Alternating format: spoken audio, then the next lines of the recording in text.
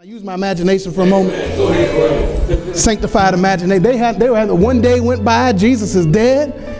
And so they're having a good time, Brother Bonner. Oh, Bringing all the, the demons and doing all the fun stuff. They're celebrating because Jesus is defeated. They've finally gotten rid of him.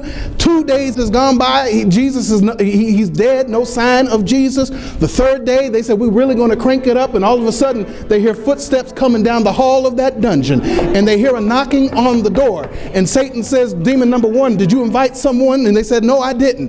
Demon number two says, I didn't invite anyone. And Satan says, will you go get the door and see who it is? And when they opened the door to that hellish dungeon, there shined the face of Jesus Christ, and he knocked Satan's slimy head against the walls of that place, took the keys of death and hell from Satan, captured the spirits with him, preached victory, took them up to, to God the Father, and listen, made a fool out of Satan in the demonic forces.